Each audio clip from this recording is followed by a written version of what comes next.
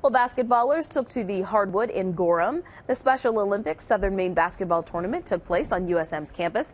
Volunteers from Cheverus High School, Leavitt, and USM helped run the event. Of the nearly 400 athletes who competed, eight teams were a part of Project Unify.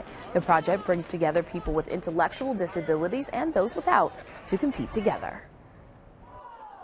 This is why I do my job. Uh, I come out here every day.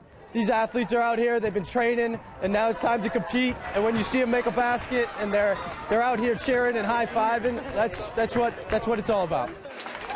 Dozens of area schools participated in the event. Organizers hope the program will spread to every Maine school. That's wonderful. Nice. That is so great.